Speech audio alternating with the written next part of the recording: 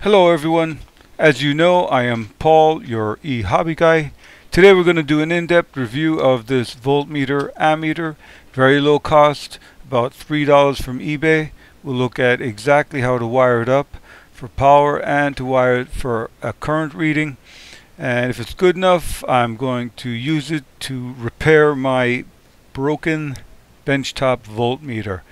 We'll also check its readings to see if they fall within the specs and we'll do an in-depth review of that. So let's jump right in.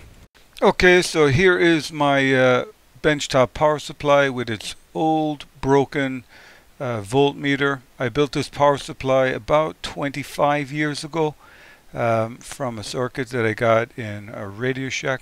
A few weeks after I bought this voltmeter, it just stopped working and at the time it was expensive and so it was kind of annoying that it broke so quickly and so I have been just using my multimeter for most of the lifetime of this power supply. And so when I saw these voltmeters appear on eBay I figured let's just give it a try and I would add some extra functionality by getting the current reading as well as the volt reading. And so We'll take this apart, um, take a look at the back, get this voltmeter out, and then do uh, a little test on the new one and see if we can repair this benchtop power supply with this new voltmeter ammeter from eBay.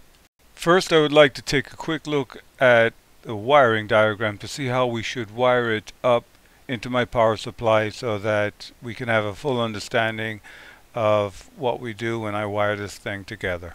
One thing I do want to point out uh, about this wiring diagram is that we are measuring both voltage and current that is within the range of the meter. What I mean by that is the meter is rated at 3.5 to 30 volts. I will not be reading any other voltages that are higher because my benchtop power supply is only capable of 30 volts. We can wire it up this way for that reason.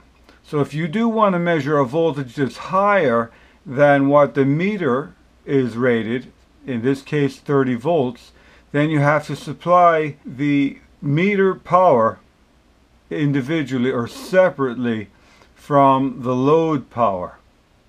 In other words, in my case here, I would just have a completely separate, isolated 12 volt power supply um, providing power for just the meter.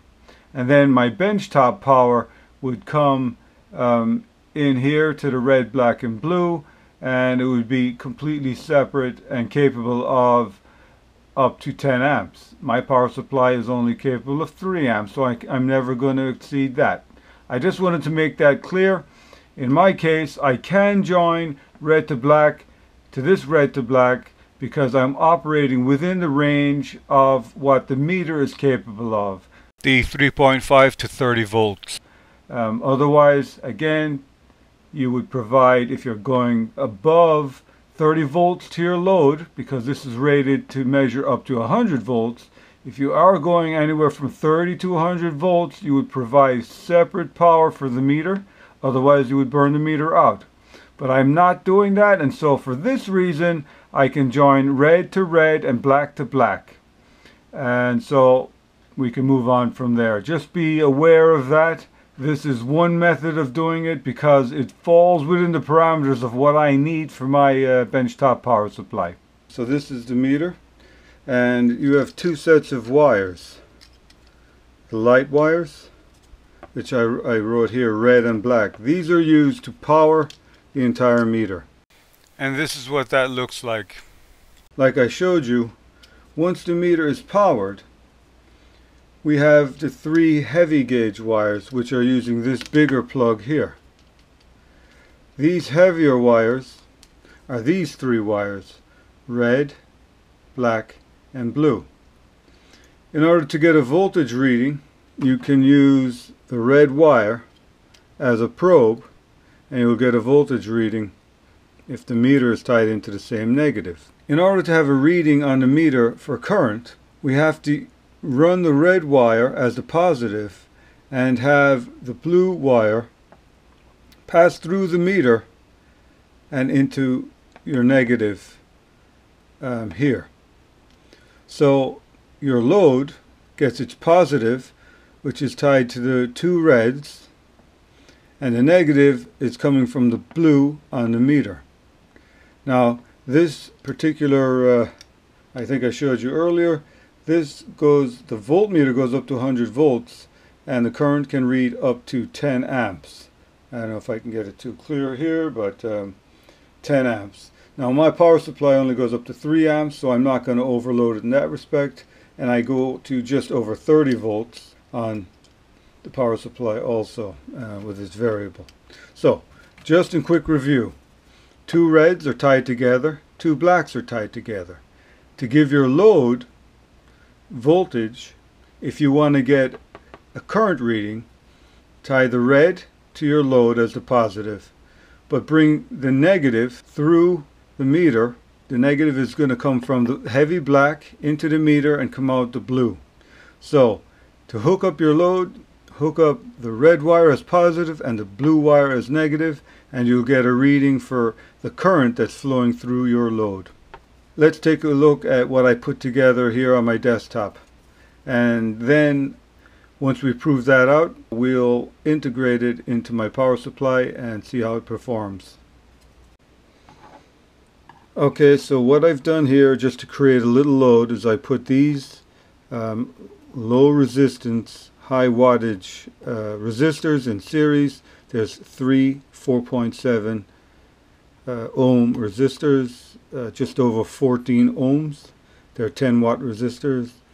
And as you can see, I just kept it around 13 volts. This is what popped up here. If you look at my four channel voltmeter, I got 12.9. It flickered between 13 12.9. So that is uh, encouraging that it's very close. Doesn't need to be calibrated. And so what I haven't done is I haven't hooked up the negative for this load yet. So there's nothing, there's only a positive.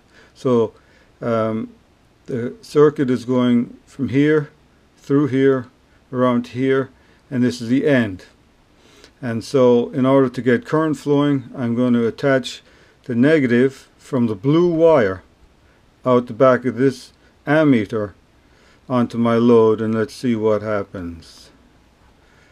Well that's about right. Now the voltage did drop down. That's not unusual. Just for confirmation I actually uh, hooked my fluke in series with this ammeter as a as a double cross check. And you can see the accuracy is right there uh, 830 milliamps 0.83 amps it's right on the money um, which is actually surprising I did expect some calibration to be necessary at the back of this there it, there are two trim potentiometers to calibrate, uh, one to calibrate the voltmeter and one to calibrate the ammeter.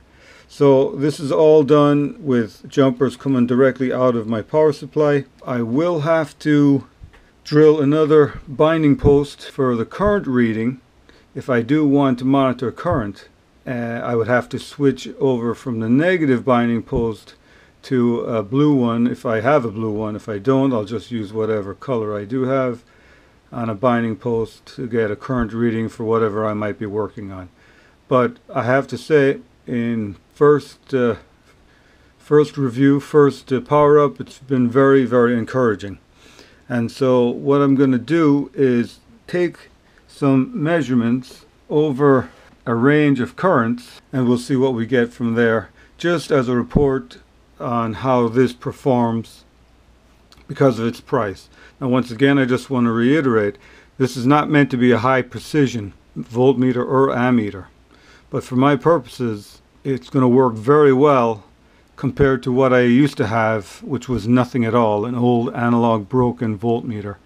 And so I'm actually kind of excited. So I am going to actually tie it uh, twist the wires on to my power supply itself and re-verify what I just did.